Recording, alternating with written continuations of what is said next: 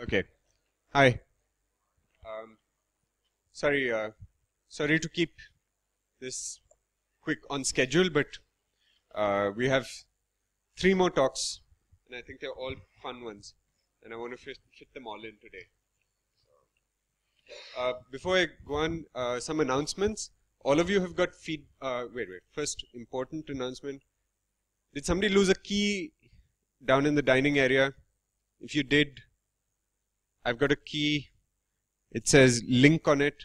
If you've lost one, if you find you've lost one, find me later. Um, all of you have got feedback forms. Uh, do let us know how we've done so far, or well, how HasGeek has done. Just as an FYI, I am not part of HasGeek, and so I cannot give you free beer. so, uh, but do fill in the feedback forms and drop them at the registration counter after you're done today. Also, when you're leaving, if you could just leave your uh, NFC badges as well, that would be really helpful.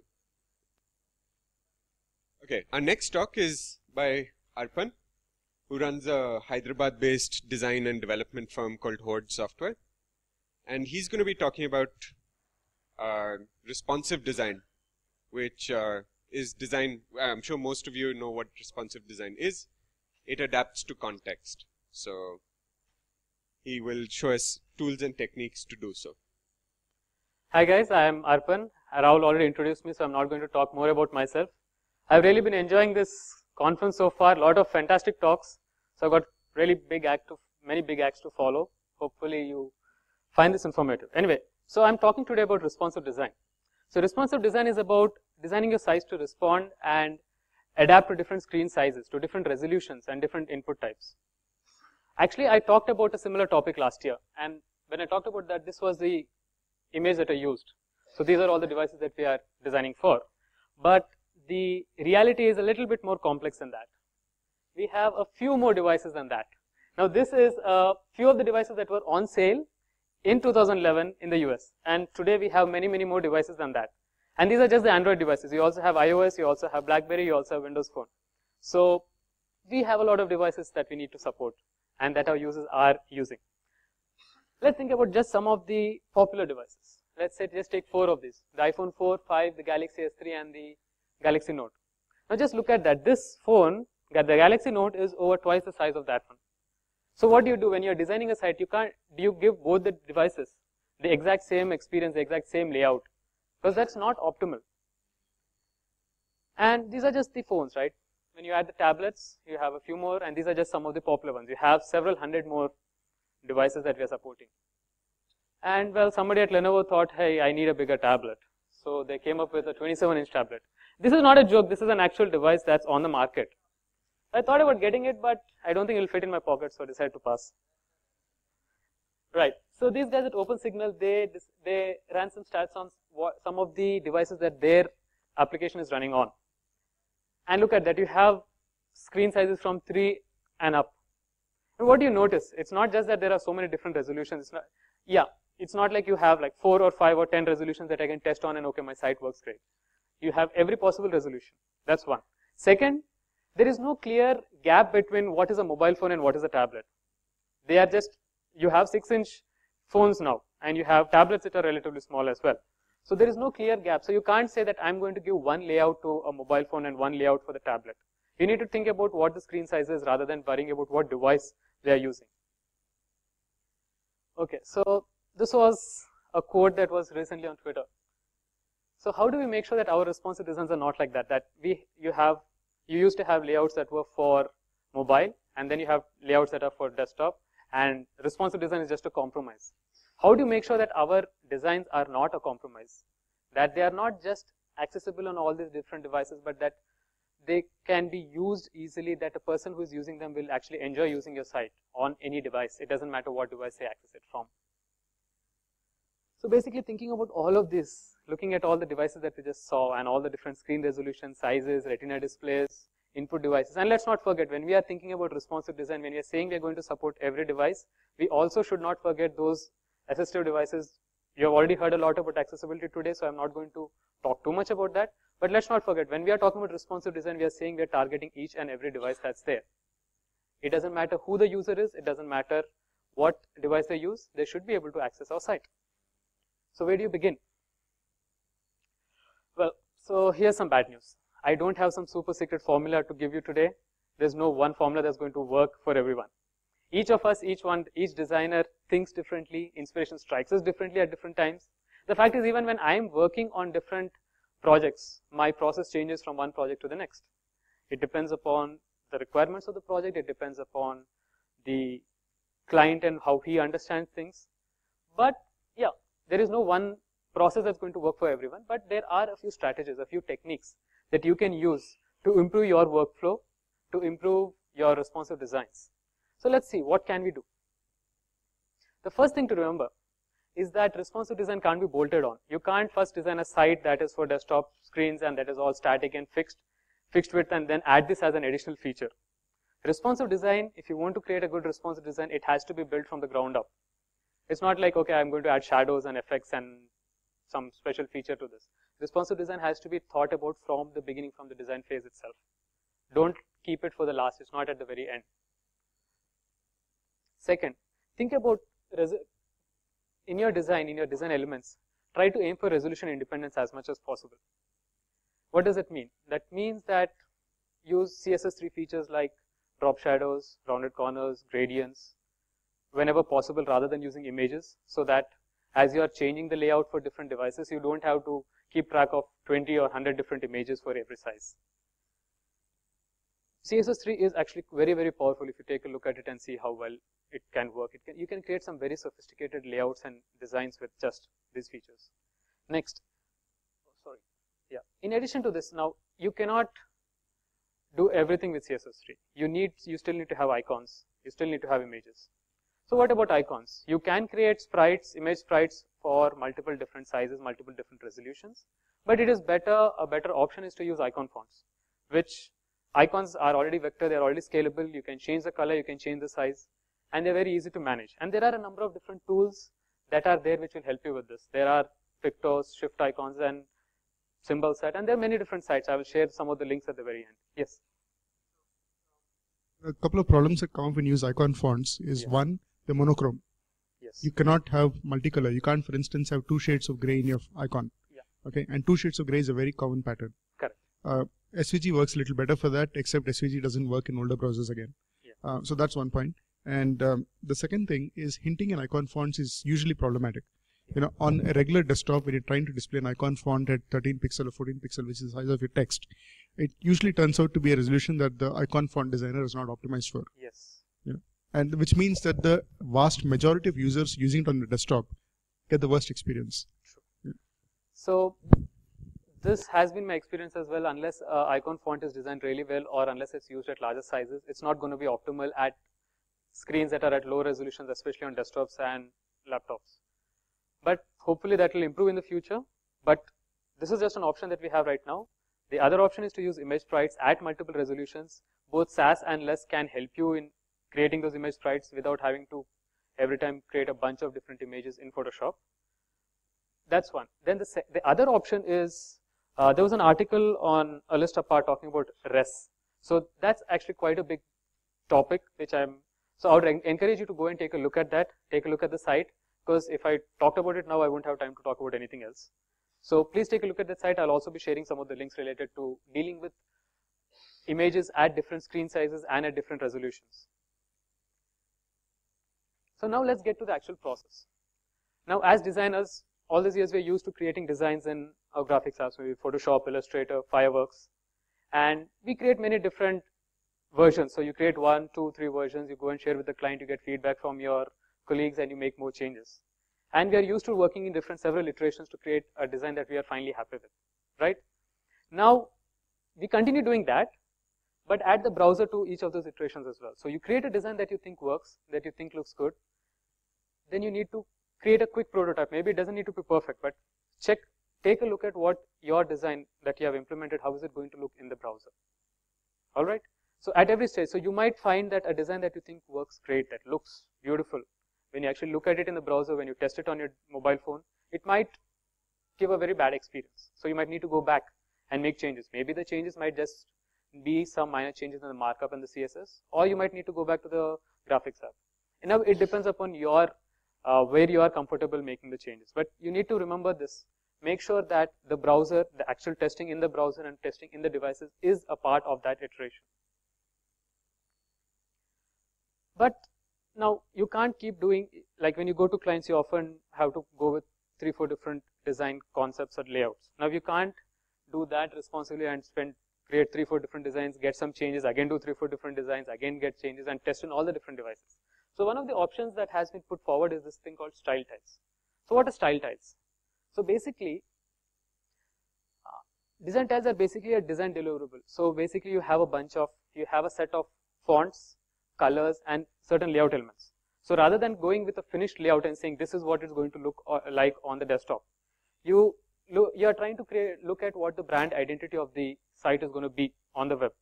And you create a few of these and check how they are going to look. So based on this, so you start with a, you start with a certain base with a certain foundation of typography, of colors, and of certain design elements. And then you go start designing responsibly. Now when you are, once you have done that, you have to go and start actually designing the site. So the first thing which has been, if you are designing, if you are designing for responsive design, the first thing that has always been taught is mobile first, right? And we are very, very, we are all, all very disciplined and we always follow the rules. Well, anyway, so here's the thing that you need to do. You start with the mobile layout first, yes. But as you are defining breakpoints, so you have media queries which, which say that at this size, I, the layout has to change. Don't define these media queries, don't define these breakpoints based on the devices that you have. Don't say that ah, this is the iPhone, so this is the breakpoint or these all mobile phones, so I'm putting a breakpoint at this point. Rather, define breakpoints based on your design requirements. What does that mean? Let's say you, you have started with the mobile layout. You have everything is in a single column at the beginning. Now we are looking here as the screen grows, bigger, larger screen on a different device. This layout that you have designed for the small mobile might not be optimal for a different device, for a larger screen. So at that point, you define a media query, you define a breakpoint, and you add a layout. You decide maybe you might add a column, you might shift certain things around, and you keep doing that. So you keep grow, as the screen size keeps growing, you define breakpoints, but define the breakpoints based on what your design requires. And I'm going to actually demo how you could do some of that, but let's take a look at the next thing. Okay, when we are designing responsive sites, let us not think of our site as a bunch of separate columns. So you have on the desktop layout, you have four columns or three columns. The screen narrows, the column drops to the bottom. Again, the screen becomes narrower and the column drops to the bottom. But rather think about how your content in the site on the page is related to each other. What does it mean? What is what do I mean by network of content? Let's take a look at this site. So you have an article, right? You have the article title and the content. You have some information about the author and you have some pull quotes and images. Now, in the old method, what you would do if you just drop the column is this pull quote which might be related to one of these paragraphs at the top drops all the way to the very bottom, which doesn't make any sense. Instead, think about how this and these where, what is the connection and where they are connected. So in this case, what I've done as the screen becomes narrower, rather than this going to the very bottom, it merges into the column into one of the places in this based on where it is relevant. So think about your code, your design, you should be starting it at the HTML level itself. Make sure that the markup is in the right order so that when you merge the things in, when you decrease or increase columns, you have the content coming into the right locations. And again, when you go to the smallest layout for the mobile, there are slight changes, but essentially you have kept the order of the content based on the requirements. So this is the thing, prioritize the order of the code. The design in the browser should start, yes? Yes, I it is mobile first. I just wanted to demonstrate how the art, article page was. if you're doing it mobile first, how would you know the source order on a desktop site would look? Okay, so that's the point. So when you're designing, rather than looking at what it's going to look like in the desktop browser, you should be looking at the order of the priority of the content on your site. What, where does the title come in? Where does the content come in? Where should the navigation and the sidebar be? Then as, as the screen size grows, you use CSS features to lay out the content to move the content around. Sometimes it can get a little bit complicated and it's not always easy to do this. But if you follow this technique, if you follow this method, it can make a big difference. What do I mean? Just take a look at this. Now in this, on this side, so this is related to your question. On this side, you have the uh, tagline, which is probably like the close to the logo you keep. It should be at the top of the page. While you have the sidebar things like the Twitter feed and subscription, which are not as important as the content, right? So although they might be together on the desktop page, what you should be doing in your source code is to make sure that that is at the top, this comes next, and that one comes to the last. So design your markup accordingly. Then you can use your CSS to move things around. That's not too difficult, right? So this is, so if you start with the mobile first and you have prioritized the content in terms of what comes first. So that in the, in the source order, that is first, the tagline, the content comes next and the footer elements, the sidebar, things that are not as important are still there on the side, but they are at the bottom. As your screen size in, in grows, you don't just, as I said, don't just think about it uh, in terms of columns that I have to have two columns or three columns and these columns, everything in this column stays together. Although these two column, these two are in a single column, in the source order they have been put in completely two different places so that when you are on the mobile phone, you have the content where it needs to be.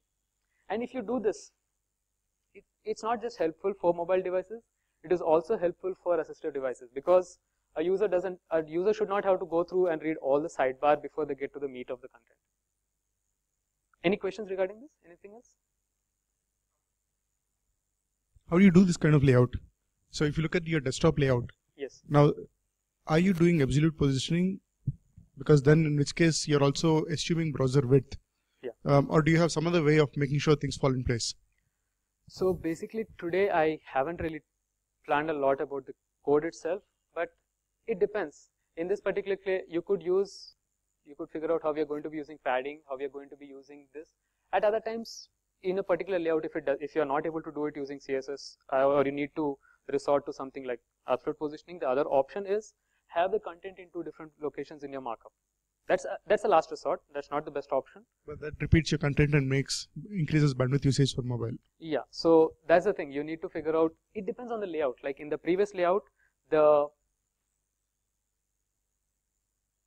in this page, the way the way they have done it is rather than putting things in just separate columns, they have separated each column into a set of uh, several columns, several content. Each element has so you have first in this main article you have this article then that sidebar is in the markup and then you have the other things. Yeah this, so this is the, this, this is, the is pretty straightforward. no this is the actually the one that i can't make sense of how you how it's done.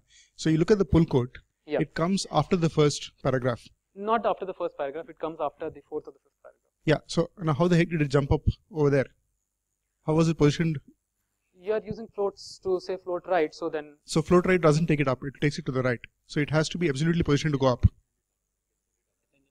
you can send it How up. do you send it up in float? If if if this is floated to the left and Yeah. this is floated to the left and that's floated to the right, No, it will go to the no, top. So the interesting part here is that quote is in the middle of this column.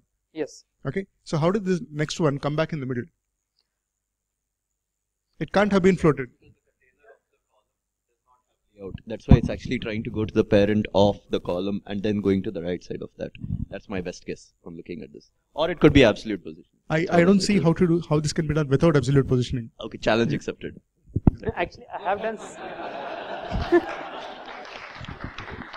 yeah. So actually, I have done stuff similar to this in different, not exactly like this, but stuff similar. So it is actually not as like not as complicated when you actually get right to the core to the CSS. It can be done without too much difficulty. So let's work on that after this. I'd really like to see the code that makes this possible. Sure. So I haven't designed this particular site, so but we can take a look and we can also try our own stuff.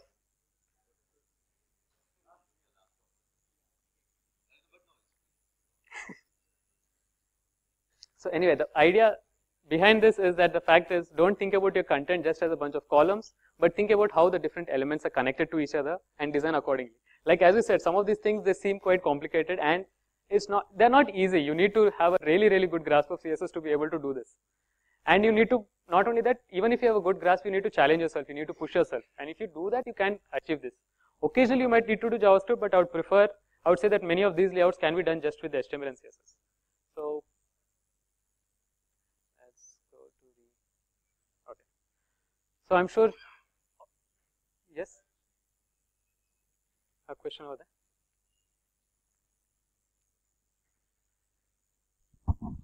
I actually you are talking about creating websites uh, responsive right from the scratch. So we are, that's what we are talking about here.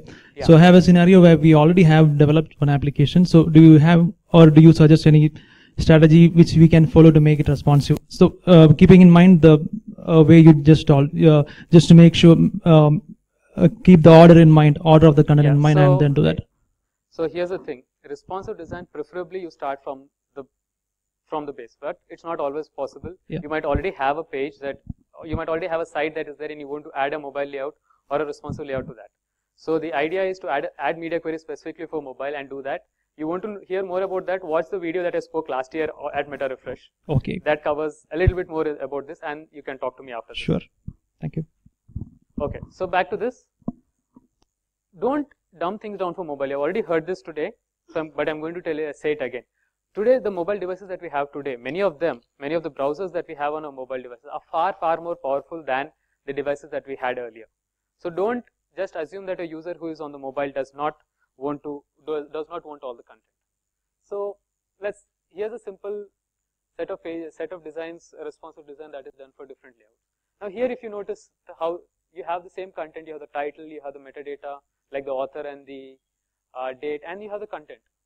And at the largest size, they have made some changes so that to improve the layout further at a larger screen. But here's the thing, you might say, but what about the sidebar? In this layout, you have the sidebar, you have the bunch of all the links related to other articles, while on the mobile layout that's missing. But it's not. It's there in the title. In At the top, they have a button which will displays that. But what they have done in the mobile layout is, they have taken a look at what is most important. And on the mobile, you come to an article, you want to read the article. You don't want to see all the sidebar and everything else at the beginning, right? So that is hidden. But if you want to access that, if you want to go to a different site, you want to look at articles that are related to this, it is still there. The point is not to say that because it's a smaller screen, I'm going to, I'm not going to add these features or I'm going to remove these features. Instead, take it as a challenge, figure out what is the best way for me to lay it out, what is the best way for me to utilize this limited screen space.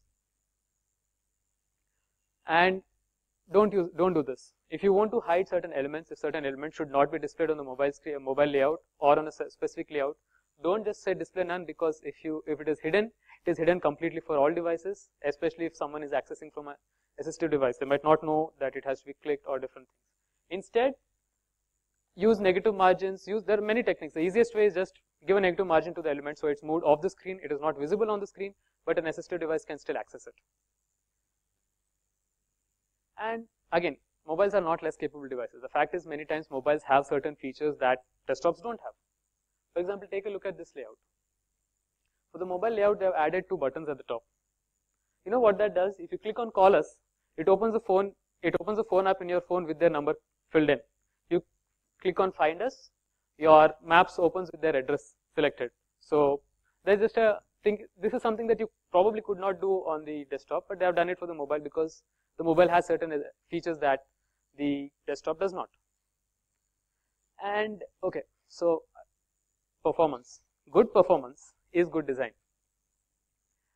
Remember this always. So yes, actually I don't really have time to tell you the full story, but there's a story. This is what happened at YouTube. So the video page was 1.2 MB in size, and this guy was somebody was ranting about it. So this guy decided to fix it.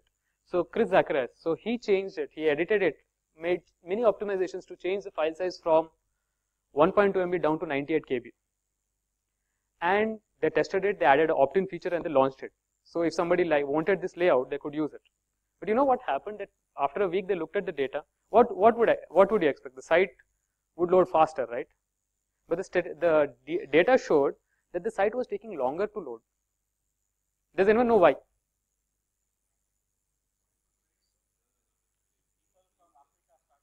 Exactly. So people who were previously not able to access the site were, were suddenly able to start accessing the site.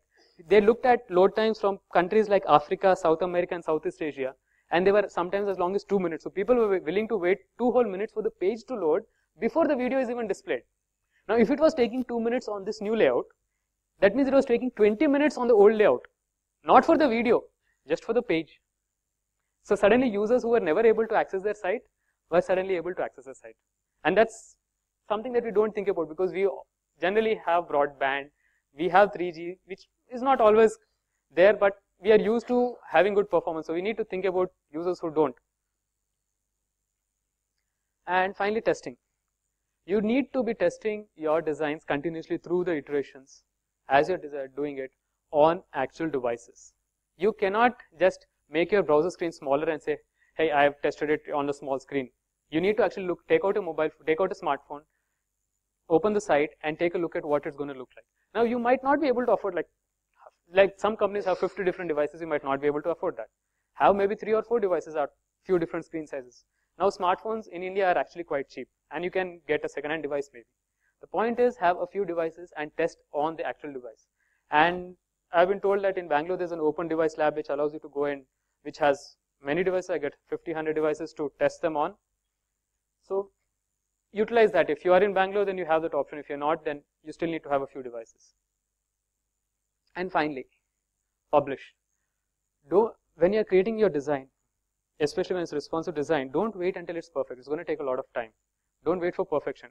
Once you are satisfied, once it's at a, once it's good enough, launch it. You get feedback from your users, see how they are using it.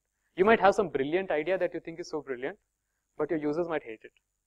And alternately, you might think that there is this problem, this really big problem that I need to fix, and nobody else might care about it. So get it out to your users. Because remember, once you have published your site, once it's online, that's not the that's not the end of your design process. You need to get feedback from your users. You need to iterate. You need to experiment. You need to try new things, and see what works and what doesn't. And finally, if you are trying something new, some a new technique, a new design that somebody else has not thought about, then publish it on your own site or share it on Twitter, share it with us so that we could also try that out. And maybe some of us might be able to give you some more insight on that. And uh, there are a few tools, different tools that are there. One is just testing out.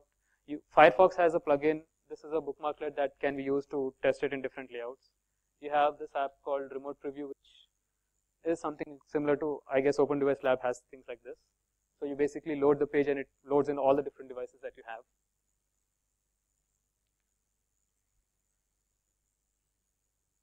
Then there's this app Image Optim, which is for optimizing your images. If you're on the Mac, you can use this. If you're not, you there is smush.it which Smushit which does the same from the web. and finally, there are a lot of different sites. So I've covered very, very little in this topic. There's still so much more. You could probably sit for a day and several days and still not know enough about this topic. So please go to these sites. I will be sharing more links online on Twitter as well as I was planning to create a checklist, but I was not it's not ready yet, but I'm here's the plan. There's a lot of things about responsive design that many ideas that all of us have. And I'm sure there are many of you here who know a lot more about responsive design than me. So the plan is I'm going to set up a GitHub repo with some of the checklists, some of the items, some of the ideas, and I'd like all of you to contribute. So if I'll be sharing that link on Twitter later today, and that's it. Any other questions?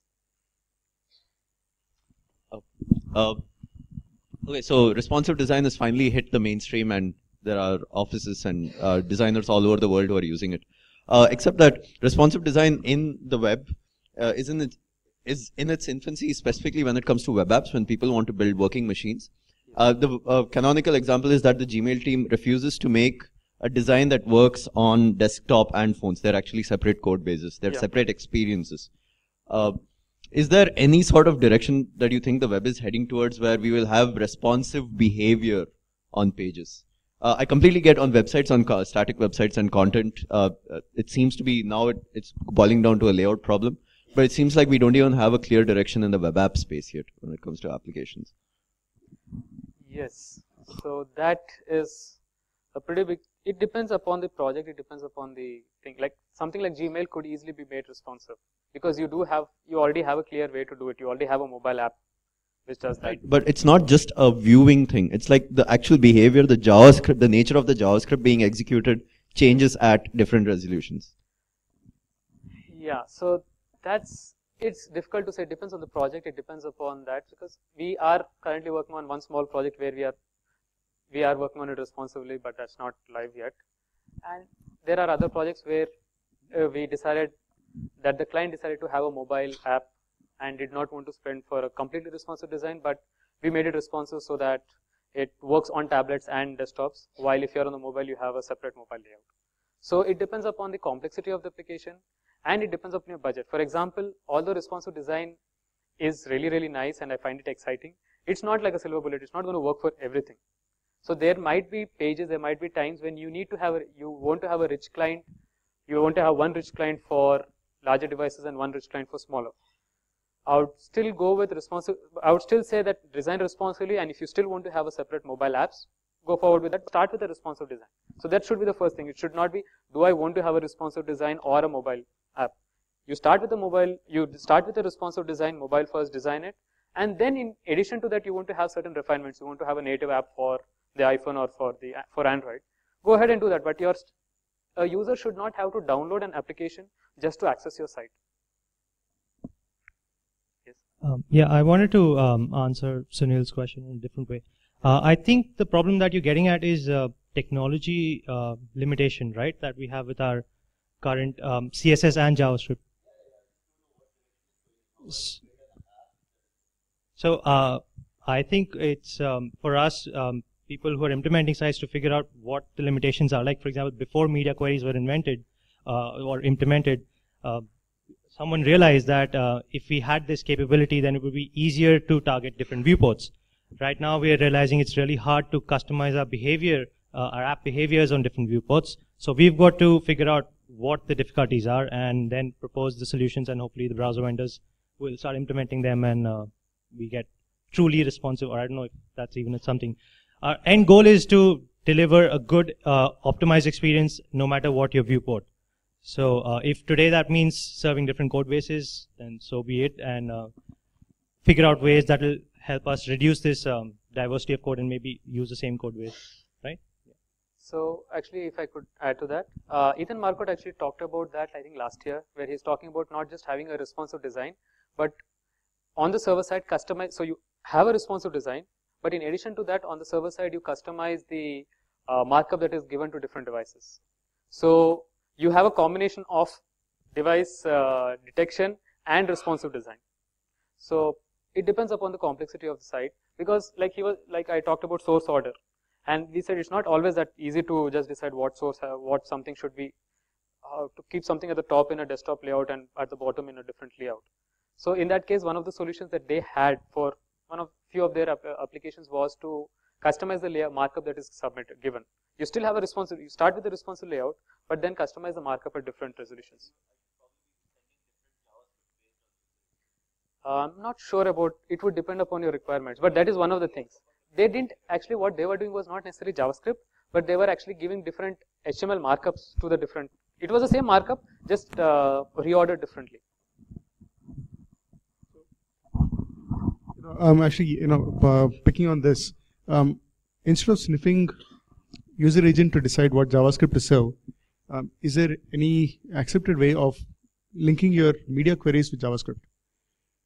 See, media queries, for instance, are the right now the pretty much the only way to detect whether you're on a small screen or a large screen. So, well, me, media queries detect the media queries. Are, we are using media queries based on the width of the screen, but JavaScript can also detect the same thing.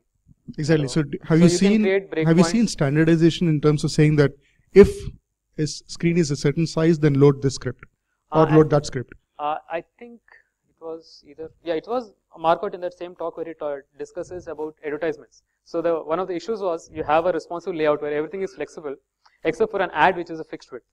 Yeah. And what do you do with that ad? And also, what about uh, in a in a desktop layout you have the ad at the top and the side column, but that column is at the very bottom, and an advertiser, advertiser is not going to be happy if your ad is at like is never going to be seen. Yeah. So what they did is they inserted different elements, three elements for ads in each column, and based on the screen size, they inserted the ad in that column. So it was a single script, it was just single markup, but based on the media, based on the screen size, they inserted the ad in a specific place as it was as required. So that was one option that they gave. So, so but uh, have you seen examples of standardization of saying that this is how you load JavaScript based on screen size? You know, media query, for instance, is well established. Anybody who does responsive will do it in the same way. Okay. You, know, so you either look for resolution so or you look for. so basically, saying that one JavaScript file for this layout and another for that. Yeah.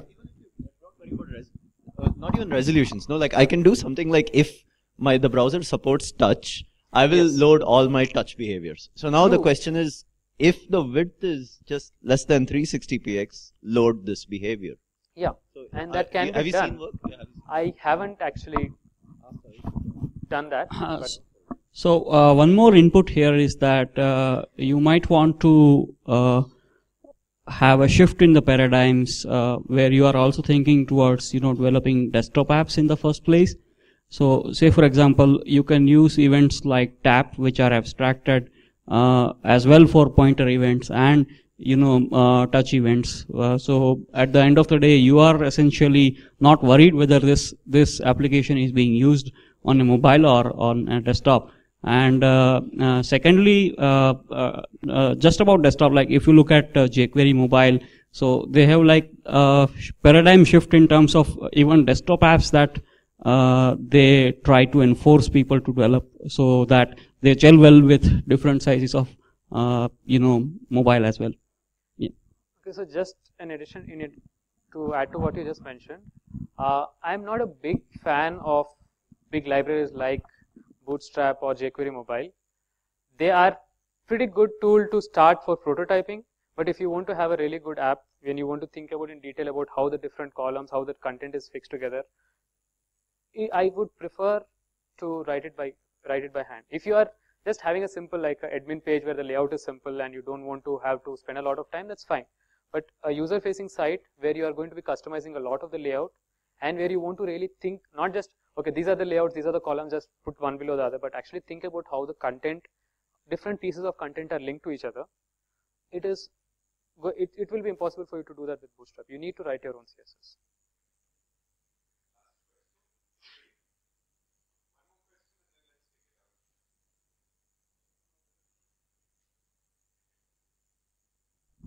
Hi, uh, this is not uh, just uh, with responsive design. I just wanted to check with the community. Uh, a IE6 user, can we consider them as uh, disabled?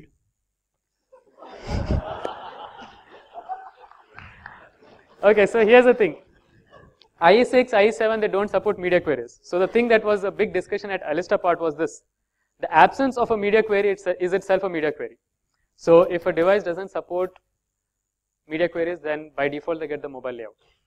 Now if you want to add specific CSS for IE6, 7, 8, you can do that by using conditional comments. But for, I might consider doing that for IE8, but for IE6, I'm just, as I'll give them the mobile layout, they'll still, the user will still be able to access it. It might not be optimum, but they'll get the mobile layout. So that's one option that you have. You have to decide what, how many percentage of your users are on IE6. No, the uh, reason why I asked is uh, most of us designers hate IE6, and uh, No, we I love IE6. Just kidding. No. most of us, I said. Uh, considering that, and uh, we hate IE6, we don't want uh, to do for IE, uh, but we still uh, talk about accessibility and stuff like that. So, what do we do about users who have IE6 at a majority? Uh, it can be uh, at a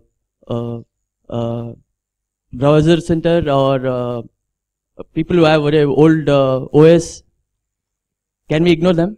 So here's the thing. If you are writing right markup and you use a media query as a media query itself saying that this is the base layout. So what will happen is mobiles, tablets, all of that will get the new, will get the enhanced layouts while IE will just get the content which is formatted. So you might have the, this is, this is a a header 2, this is header 1. So just do it in such a way that either they don't get any style, styling at all. So you just have the plain page which they can access or create special styling which is there, which is outside the media queries, which can be accessed only, which IE6 is going to apply, and all the other layout will be given to the browsers which can handle them. Okay. The reason why I asked is uh, I got a, a leaflet from uh, registration counter uh, from Cleartrip. They said uh, we uh, we do that, we do this, and uh, we also hate IE. So just wanted to check. Uh, so IE6 users are not uh, So- disabled. So here's the thing, yeah, so IE6 users are not disabled. A person who is blind doesn't have a choice. A person who has IE6, I'm pretty sure he could change at least to IE7. I do support IE7 on some of the sites. Uh, again, it depends on your client, it depends upon your requirements. Uh, just to add to it, I think for I uh, for IE6 you don't uh, you don't consider them to be you know inaccessible. There's this concept of progressive enhancement. So you give the least common denominator functionality to IE6, and then you decorate on top of it. So Chrome guy gets a much better experience, but that does not mean IE6 does not get anything. So the simplest way to do that is just to use a media query. So anything that's in not the media just for query. layouts, it's for everything, right? No, yeah. So anything that's outside the media query, like typography Exactly. and forms, will be you, Exactly. IE will get that, while anything that's in the media query will be hidden to IE. So you are using the more- absence of media query as a media query itself. Yeah. Um, one more thing is, you know, uh, that's a great point that people missed, you know, progressive enhancement. But one more thing is, um, I'm not sure uh, the people using IE6 whether they have a choice or not because I know many IT companies in which uh, the IT departments uh, say that you only have IE6 and you don't have any admin privileges and you cannot install your own browser and there people are stuck with IE6 over there. So yes, that is changing. That is changing, but still, still, you know, the, the situation still persists. So uh, if your if your web application deals a lot with uh, those kinds of people, if your clients are those, then definitely you have to keep those people in mind and use progressive progressive enhancement and all that kind of stuff. Hello. Hello. Uh, one small question, like uh, responsive. All right.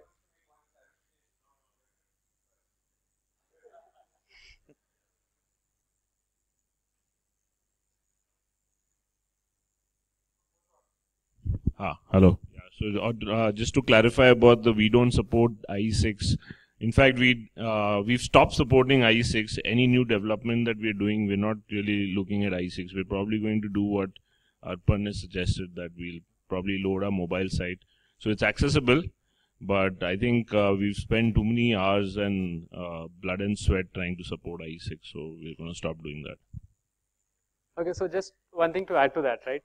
So we have limited time and we are talking about accessibility. So we need to figure out how much time we have to spend on that. So are we going to spend a lot of time supporting IE6 or are we instead going to spend time working on improving accessibility for other users? Just a thing, something to think about. Thanks, all of you. Thank you.